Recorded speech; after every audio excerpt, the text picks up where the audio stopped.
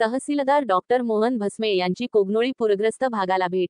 कोगनोळी तालुका निपाणी येथे निपाणीचे तहसीलदार डॉक्टर मोहन भस्मे यांनी येथील प्राथमिक मराठी मुला मुलींच्या शाळेत पूरग्रस्त नागरिकांचे स्थलांतर झाले आहे.